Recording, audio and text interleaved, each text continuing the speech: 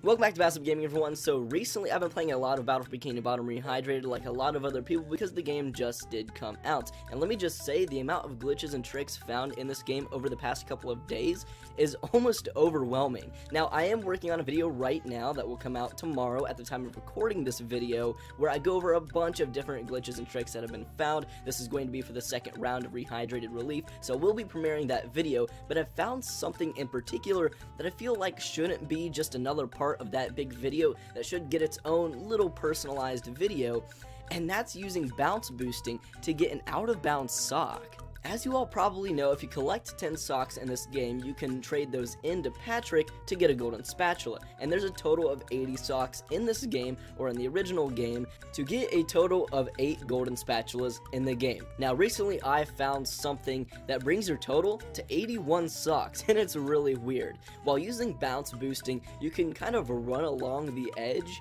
of when the hand takes you out of bounds, and then when the hand comes over, you can continue to move, and the hand will bring you wherever you go. And for some reason, while you're in the animation of the hand taking you out of bounds or taking you off the screen, you are able to go through solid objects and then the hand will bring you back through there. If my explanation was a little bit tricky or you didn't really understand it, just look at what's happening on screen. You can go to some pretty cool places. Well, if you head over to this area by the movie theater and you do that trick and then go inside the movie theater, you'll find a random sock for some reason.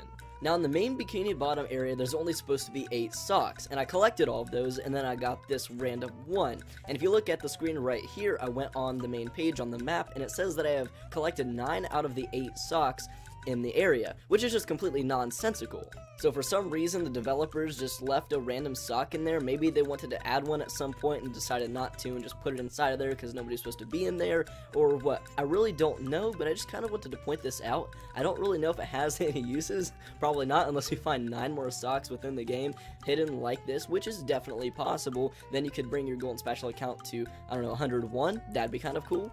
I just feel like this has the potential to be a big discovery. It could be added on and maybe in like a speed run or something. I don't know how quick that is, and I don't know how quick collecting other socks are, so probably not. And I don't know if anybody else has found this either. I couldn't find anything online, so I figured I'd document it and make a little video. I realized that I didn't explain bounce boosting at the beginning, so all you have to do is spam your slam move while you're on a bouncy object, and it'll just go ahead and happen. It'll just continue to move forward, kind of like cruise boosting, but you can't uh, add on to your speed. It just stays the same. So that's pretty much it.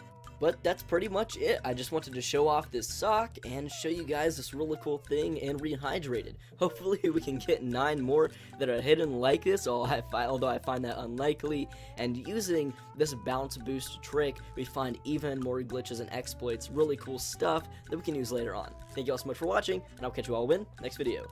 Peace.